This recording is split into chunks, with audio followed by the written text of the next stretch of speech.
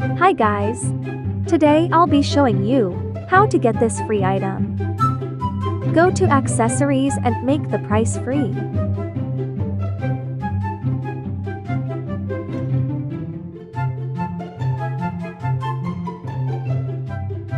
It has an effect too. Make sure to like and subscribe.